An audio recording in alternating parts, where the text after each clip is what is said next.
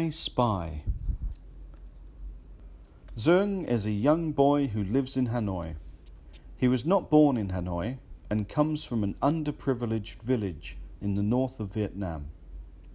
He goes to school each day wishing that he could be as rich as the other children in his class. He watches them playing with their iPhones and iPads at lunchtime and dreams that one day he could also have one of the magnificent devices. One day he got an enormous surprise.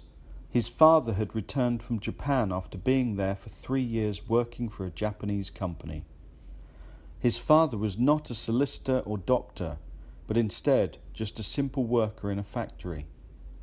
Zung did not expect his father to bring back any gifts, but he got another surprise when he pulled out a package from his bag and gave it to Zung. Zung held the box in his petite hands and said, Come on, Bo, before running away to his bedroom. He sat down on his floor and looked at the box. He imagined what it could be a book, pencils, maybe a bar of chocolate. Then he opened the box and looked inside. He was astounded by what he saw. It was an iPad. It was old and second hand. It was covered in scratches and dents, but it was his, and he worshipped it. He pressed the home button and it lit up with the Apple logo. He waited for what seemed hours until it finally switched on and he could open the lock screen.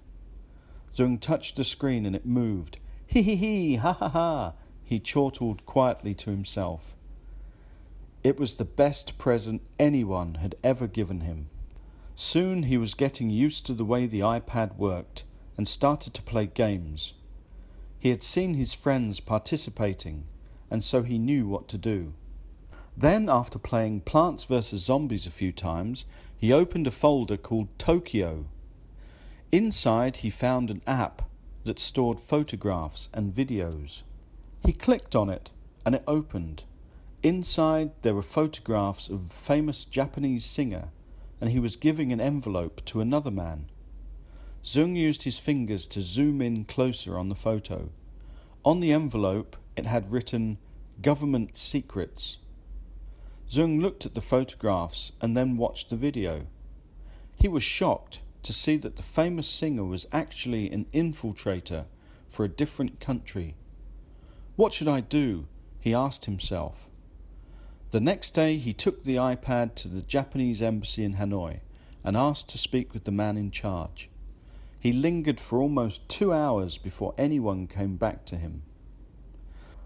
They viewed the video and were also stunned by what they saw. They shook Zung's hand and patted him on the back for his good work. The singer was rapidly located and put into prison. The secrets he was selling could have devastated Japan, and so the Japanese Prime Minister awarded Zung with a gift. They invited him to Japan, and when he arrived, they gave him a new iPad and more money than he could ever spend. Zung returned home a hero and his father never had to work again. The family were rich and had many fine things iPad, iPhone, and even a new car and house.